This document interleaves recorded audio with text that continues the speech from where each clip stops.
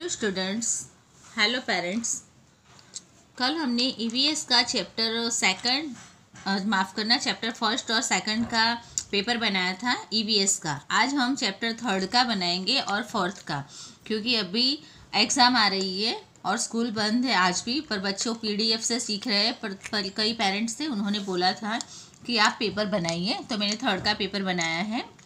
Which activity needs the least water M C Q है। आप सोच रहे होगे कि ये एम सी क्यू है तो उसमें ऑप्शन क्यों नहीं है? तो क्या मैंने ऑप्शन जानबूझ के नहीं लिखे और मैं किसी भी बच्चे को ऑप्शन के साथ नहीं देती हूँ। अगर ऑप्शन हो गए तो बच्चे क्या करेंगे? फ़र्स्ट है तो उसमें ये चार ऑप्शन है, ना तो इसमें से तीसरा हमें याद रखना है। इस तरह से वो याद रखेंगे। पर आप ऐसे करवाओगे तो बच्चे को ऑप्शन ढूँढने ऑप्शन की ज़रूरत नहीं है। वो डायरेक्ट ही आंसर करेगा। और समझेगा भी कि ये क्वेश्चन में क्या लिखा है। तो आप भी आपके बच्चों का पेपर बनाओ तो ऑप्शन मत लिखो।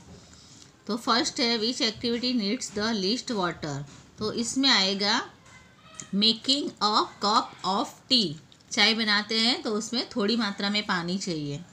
Choose the place where you get the maximum amount of water सबसे ज़्यादा पानी किसमें होता है? तो सी आएगा इसमें। फिर है for which of the following activities water is not require तो इसमें क्या है कि फॉलोइंग यानी जो चार ऑप्शन होते हैं। तो मैंने यहाँ पे ऑप्शन नहीं लिखा है, पर आप, आपके बच्चों की जो थर्ड की बुक्स है, उसमें देखोगे तो ऑप्शन दिए होते हैं।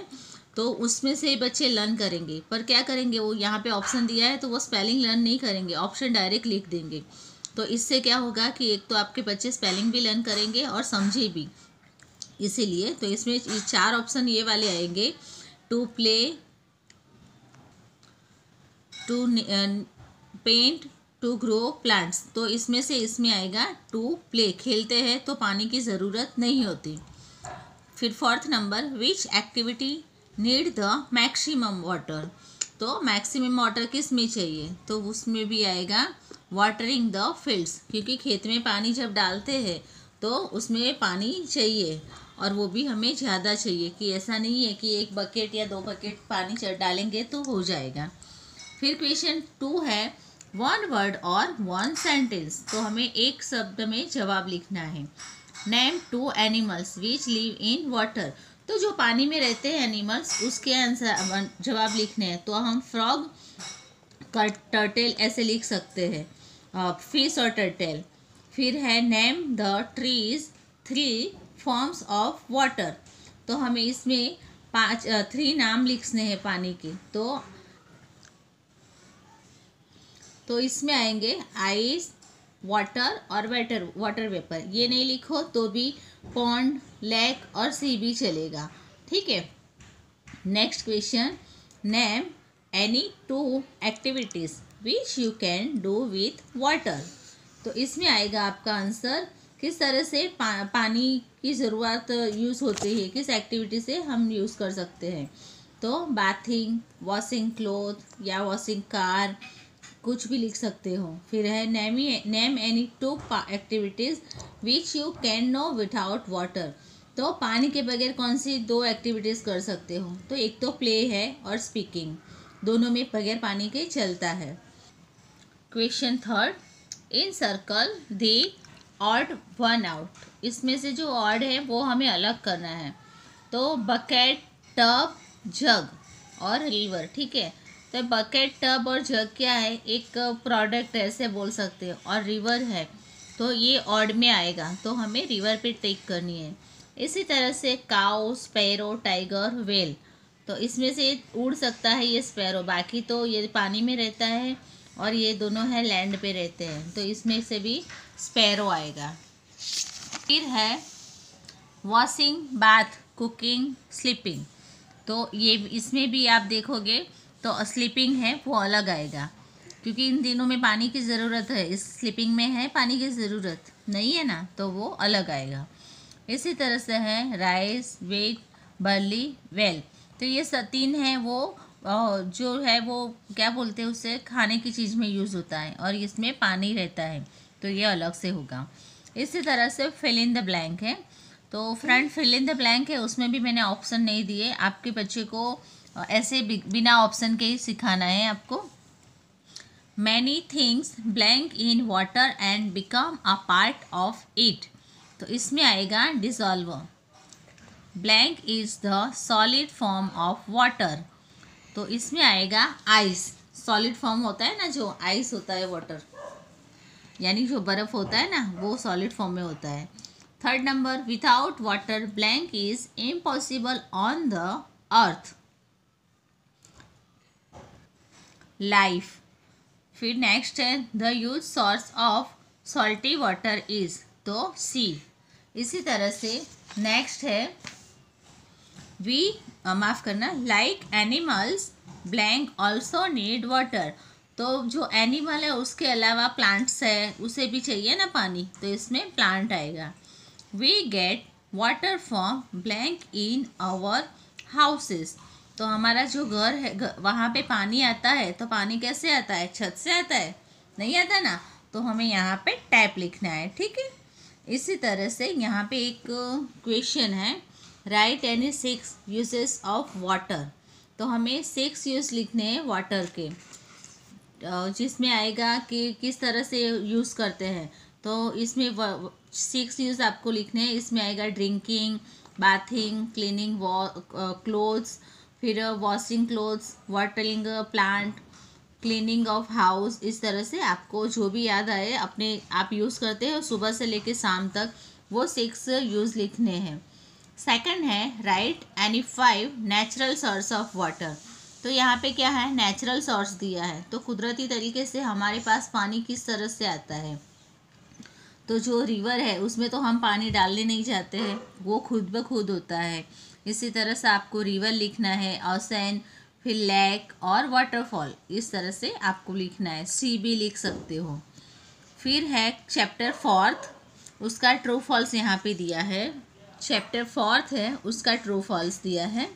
Our house should be well ventilated and well decorated तो इसमें क्या आएगा? ट्रू आएगा। We should not greet the invited guest at our home तो इसमें आएगा false animals also have their shelter to protect themselves तो ये सही है तो ट्रू आएगा। We should pay respect to all the elder people in the family तो इसमें भी ट्रू आएगा। अब हम नेक्स्ट लेंगे। फ्रेंड्स अब क्या है कि क्वेश्चन आंसर्स आएँगे। और अभी से बच्चे इतने घबरा जाते हैं कि इतना बड़ा क्वेश्चन और पेरेंट्स भी कई बोल देते हैं। कि छो, इतना छोटे बच्चे हैं और इतने बड़े स्पेलिंग वो कैसे कर पाएँगे? पर ये गलत है। आप अभी से ऐसे बोलोगे तो आगे बच्चे नहीं कर पाएँगे। तो आपको भी बोलना है कि अभी बच्चे को भले ना इतना आ रहा है आगे वो जितने बड़े होंगे उतना बड़ा क्वेश्चन आएगा। छोटा तो होने वाला नहीं है। तो आप उनको हो सके तो उतनी प्रैक्टिस करवाओ कि वो लिख पाए। तो यहाँ पे क्वेश्चन आंसर्स है। Where did Chotu live in Ahmedabad? When he come there for the first time. वो वहाँ पे क्या फ़र्स्ट टाइम आया हुआ था ना छोटू? तो छोटू कहाँ पे रहता था? Chotu lived in a large pipe ठीक है? इसका आंसर इस तरह से आएगा।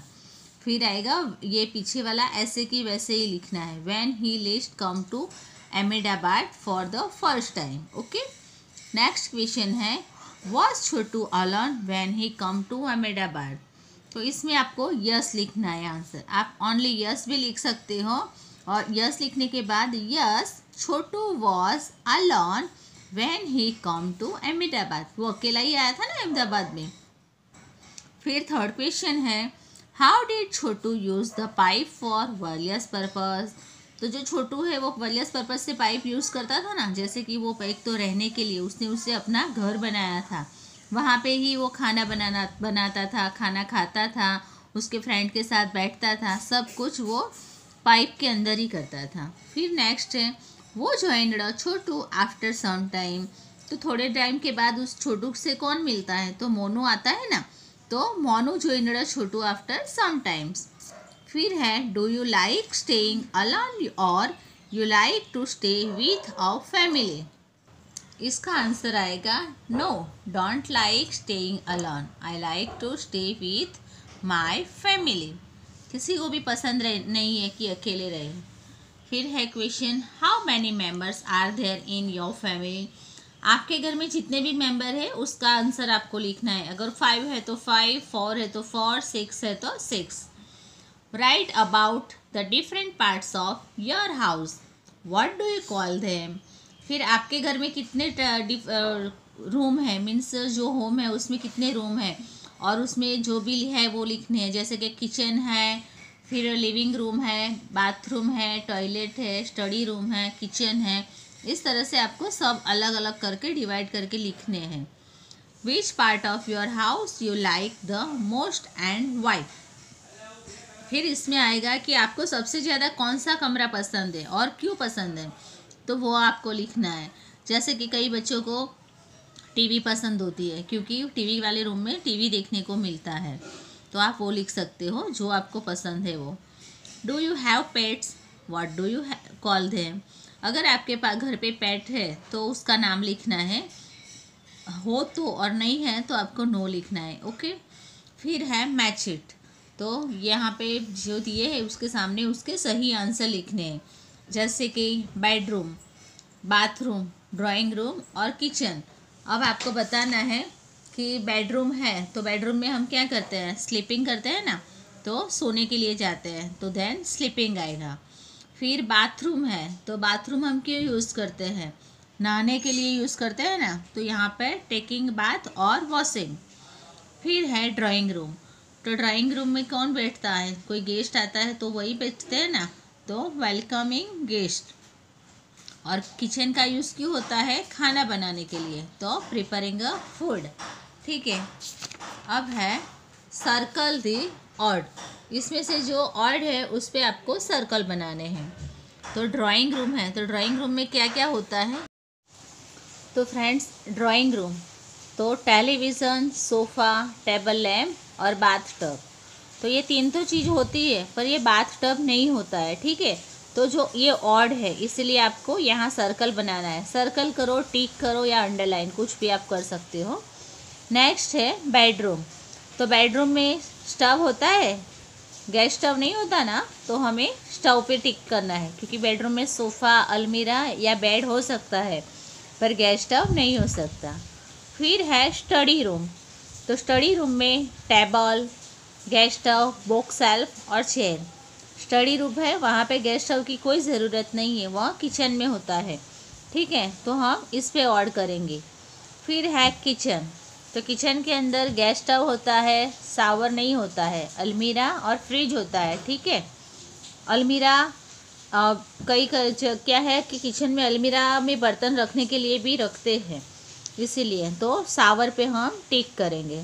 इसी तरह से नेक्स्ट है फिल इन द ब्लैंक एक in the blank first. We so इसमें भी मैंने ऑप्शन नहीं लिखे। मैं आपको फिर से रिमाइंड कराती हूँ कि मैं बगैर ऑप्शन के ही पेपर बनाती हूँ। फ़र्स्ट है we should decorate our house by making blank ठीक है तो इसमें क्या है? रंगोली आएगा। हम डेकोरेट करते हैं ना घर को तो किससे करते हैं? रंगोली बनाते हैं ना?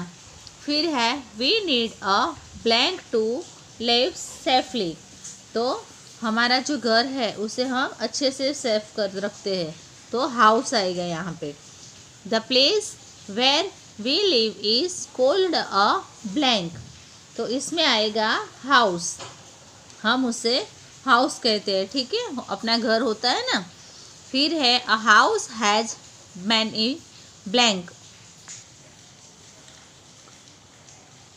तो वहाँ पे आएगा room R double O M S rooms फिर है a blank house is made of bricks cement wood iron bar etcetera तो इसमें आएगा पक्का हाउस हमने सेकंड में भी बताया था ना सेकंड में भी सीखे हुए हैं, पक्का हाउस कच्चा हाउस ठीक है? फिर नेक्स्ट है a blank protect us from danger किस लिए डेंजर होता है? क्या डेंजर होता है? तो जो घर है कहीं बाहर भी गए हो तो हमें घर याद आता है ना? इसी तरह हमें किसी डेंजर चीज़ से प्रोटेक्ट करता है। हमारा घर होता है, वो हमारे लिए सेफ़ होता है। ठीक है? तो ये हमारा पूरा पेपर हो गया।